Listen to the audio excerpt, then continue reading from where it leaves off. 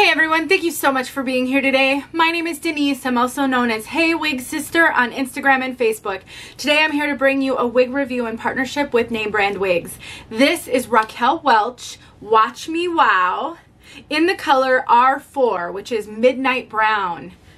This one has a bang that needs trimming on me, regular heat-friendly fibers, a lace front, a mono crown, and a little bit of layering, not much. If you want to know more about Watch Me Wow, stick around.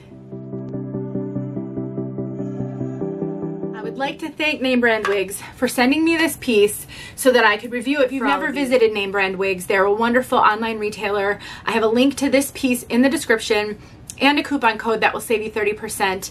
They also have great customer service and are, are just a wonderful support of this wig wearing community. All right, everybody, let's take a look at this one from all sides.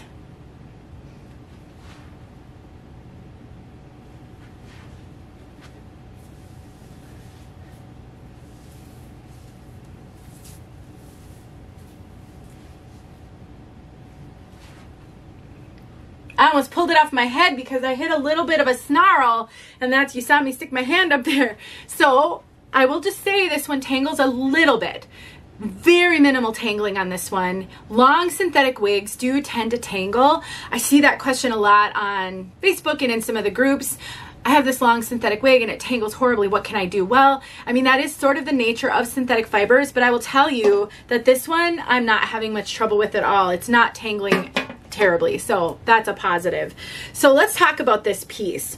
Now, this one, like I said, has a lace front and a mono crown. There's no mono part, no monofilament. So you don't really have any scalp appearance on the parting space. But let's take a look at that lace front. You can see it's pretty knotty.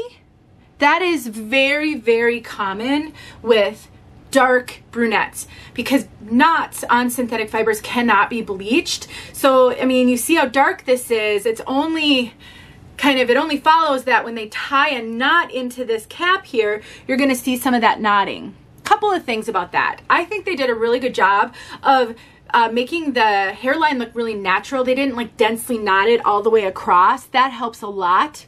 Another thing that helps, if you're sensitive to knotting, some people aren't, and then you won't be bothered by that.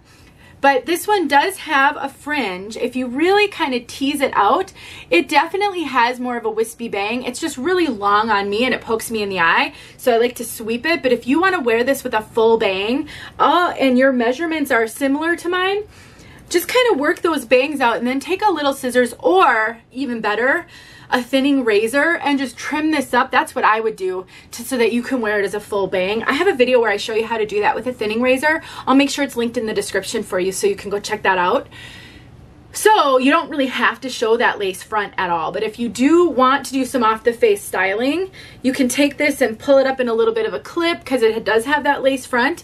You can always take a little bit of makeup, some even just some face powder and that will blur those knots and I have a video showing that as well. I'll, I'll link that. So just a couple of tips for you guys. As far as the parting space goes, there is some permatease up here. If I get real close, maybe you can see a little bit of it. It is slightly visible on this color, very slightly, so slight that I don't think anybody will ever notice it. But if you get this in a lighter color that is not rooted, it is possible you will see some permatease on that one.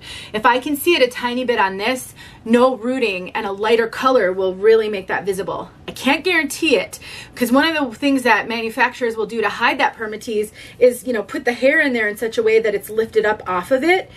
If that's not the case with yours, I'll fix that. That's not how you would actually leave it. But uh, then you can take a brush or a wide tooth comb and I would just kind of comb it up against that permatease because what we're trying to do is we're trying to break that permatease up and lift the hair up off of it so that it's higher than the permatease you know, kind of get your fingers in there, mess it up. You can always use styling spray, hairspray, all of those things, and that should really help. I just want to point that out because you've maybe not familiar with wigs that don't have a monofilament on top, and that permatease can be a little bit visible. Let's take a look at this cap so that you can see what I'm talking about when I refer to the mono crown. So this is the lace front. And you have quite a bit of parting space right there. So it does give, or I'm sorry, quite a bit of lace there. So it can give the appearance of a part line if you part it along that. That is the mono crown right there.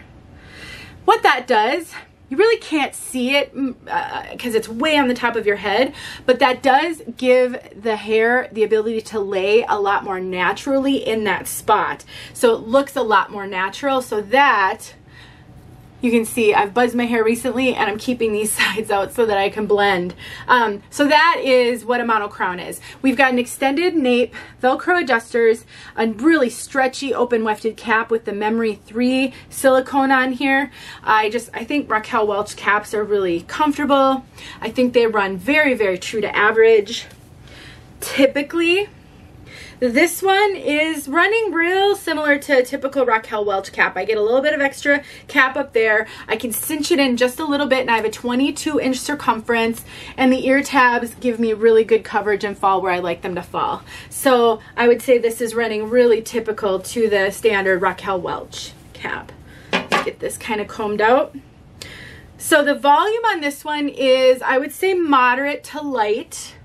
It's not a heavy volume at all. You guys, I will just, let me pause and just say the one thing I think I struggle with on this one that I think you might, if yours is the same, is this front here. It just doesn't know what it wants to do. It doesn't know how it wants to lay. It's too long to lay as a full bang. So I think everything about this wig is awesome.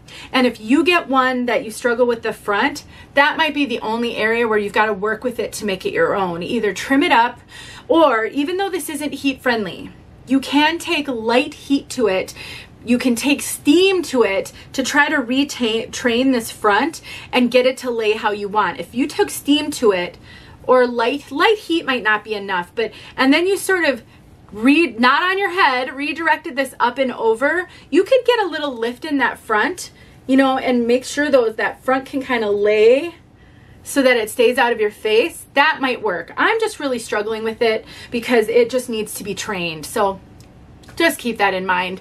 All right, so the density is moderate to light. It's not a heavy density. It does have permatease on the top. It's not a heavy amount of permatease, but there is permatease this whole top here, just a little bit. Because it doesn't have any mono features, it kind of needs that permatease in order to hide the cap. It gives it just a little bit of volume on the top, not a lot. It lays fairly flat, almost like you took a little bit of a round brush to the top there with a hair dryer to get a little bit of lift. Let's talk about the color R4, which is Midnight Brown. It is a deep, dark brown, super dark brown. Now, because this is regular synthetic, in some lighting, it might look a little bit shiny. Don't judge the shine based on this lighting because it's super bright on here. You'd never have this bright of light on you. There's no visible highlights, but it is a rich, rich brown. The shine really looks like healthy hair shine, like you have really cared for your hair or used a little bit of shine spray on it. I don't think it's unnatural looking. The fibers are super soft. These are high quality synthetic. They're not cheap synthetic, so they look really natural, really realistic. The movement is just like human hair. Raquel Welch does a really good job. If you're looking for a dark brown, you want the richness. There's no real red in here, but it is warm and you don't want any visible highlights, then R4 Midnight Brown might be the color for you. Let's get outside so you can see this color outside. Thanks once again, Name Brand Wigs. I appreciate you sending me this one so that I could share her. And if you have this one, will you leave a comment? Tell us what you did with the front, how yours laid. That would be helpful. All right, everybody, thanks for watching. Let's get outside. All right, everyone, here we are with R4 midnight brown outside.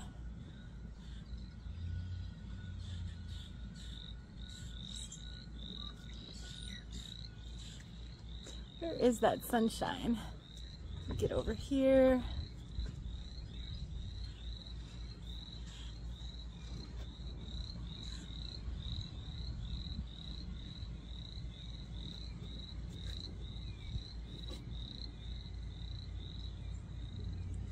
All right, there you go. Nice, rich, dark, dark brown. Thanks for watching. All right, we've got the unboxing so that you can see what this style looked like right out of the box. Really pretty much exactly what you're seeing here, but I know sometimes it's helpful to just see an unboxing. I do put these out on Instagram as well, so if you follow me there, you're able to see these. I've started to wait though until my review is out, just in case somebody's interested. They can go straight and watch the review and not have to wait. See, real cute, real easy. Straight styles like this that don't have a ton of permatease are usually great out of the box. Not much box hair to deal with, so they're easy to tell if they're going to work for you or not. Thanks for watching.